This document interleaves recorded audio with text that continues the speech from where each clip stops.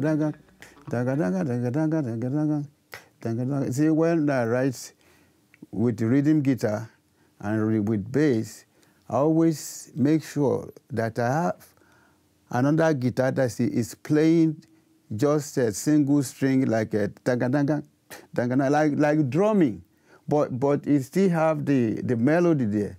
So I was the one that started that recording, you know, writing like that. So we write all the parts like that.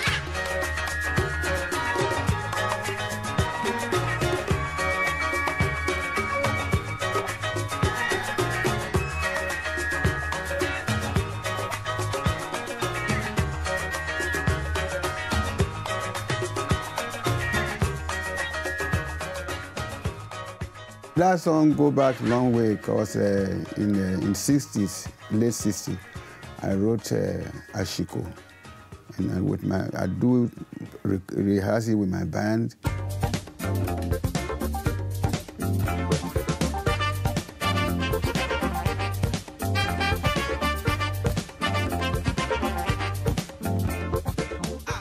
I didn't record it, but what I did was just to make a copy that I was, you know, writing the part to and kept it. So, and it was after that uh, I went to USA in 72. So when I came back there in 74 was uh, when uh, we formed a group called Emoja in uh, Washington, D.C. One of the rehearsal, we saw Hugh Masekela came, uh, somebody brought him to the rehearsal, you know, and he came in when he saw us, and I guess uh, one or two guys there has played with him before. So the guy just took his uh, and started playing with us. That was first time for me to meet Masekela.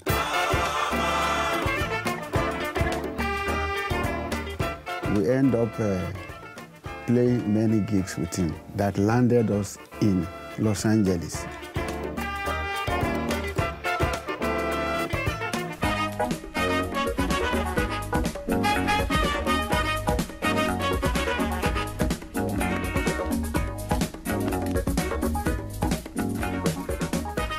They say, please let us put it in the album.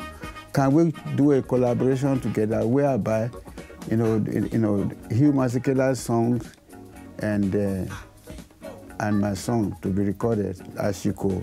I talked to the guy, I said, well, let's give it a try. And that's how we end up in, a, you know, a very good studio in, in uh, LA.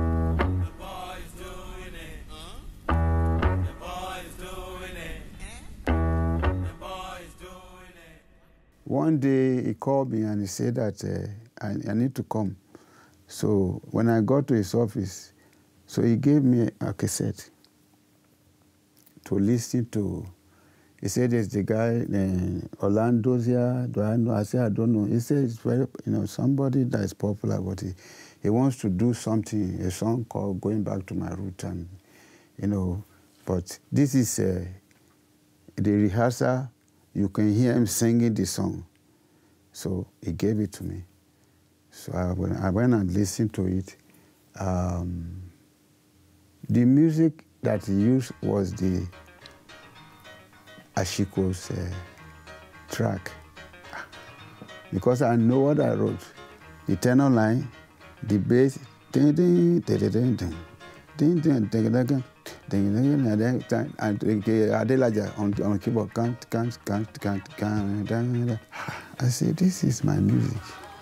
It got to a place toward the end where they started playing percussion. And, and I know that Bill Summers was one of the guys that did the session, you know, because I, I, can, I can hear his, his work there. So, and I said to myself, okay, this percussion they are playing, there's nothing, no, no song, nothing. You just said, daga, daga, you know, but they were doing, it was right. So, and I said to Levine, I said, for me to make the percussion better, I have to bring my talking drum. I brought a big talking drum, not a small one. I brought it to the studio, and uh, our daddy, Ambrose Campbell, he's a talking drummer that played the small talking drum. His name is called Shamsi Sarumi. He's now back home.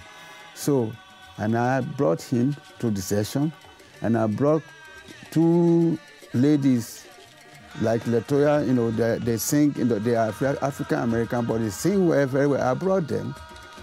So I was able to do my drumming and then sing Kawa O Maranti, the chorus that I wrote. And now the chorus is Yoruba, which is my language called Kawa O Maranti, Eranti Yeo Ìṣẹ̀dálẹ̀ Bàbá wa.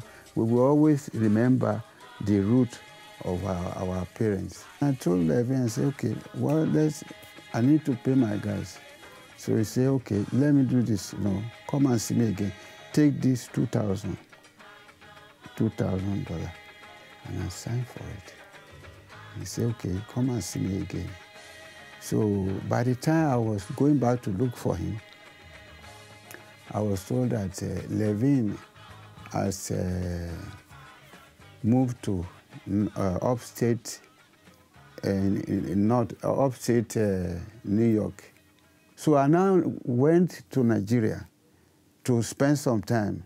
So I was just going from diff different discotheque to different discotheque, and each discotheque I go to, that's the Sunday I play more than 10 times in a night.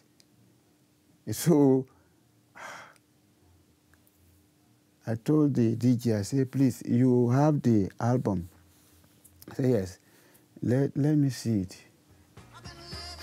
So when I saw it, I look, I look, I read, you know, everything. That was where I found out that Hugh Masekela is involved on the project because they, they gave him credit. So that was him that gave gave gave them my music to use. And so I know him and Levin and you know they, they, they work on that. So when I saw that and I see what is wrote uh, O.J. Ekemode translation.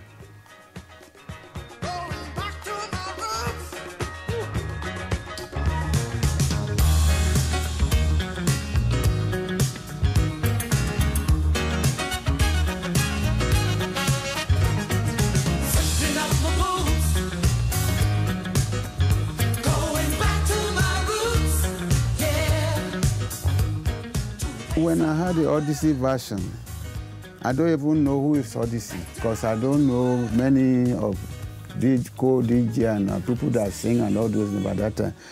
Morning, afternoon, evening, they always come back and see this thing on TV, the, the classic of our time. And, and uh, one of those songs is uh, uh, going back to my roots. But when they are playing it, it sounds different too.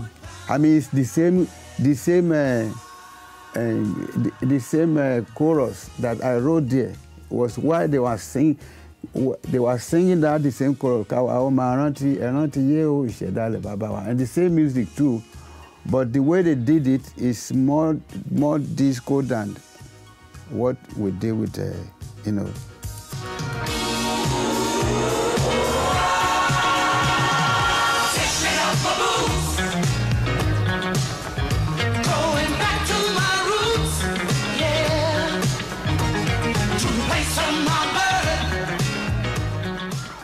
California before I left the States, and when I was going to leave the, the country, and I now met a couple of lawyers, you know, and I showed them, you know, and they say, ah, well, I think if you write this, why would they not give you the credit that you deserve?